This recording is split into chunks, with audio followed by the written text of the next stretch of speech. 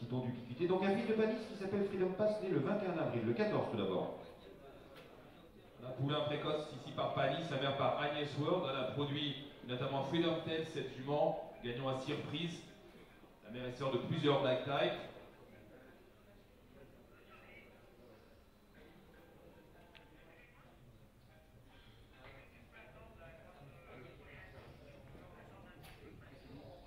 Voici donc le fils de Panis.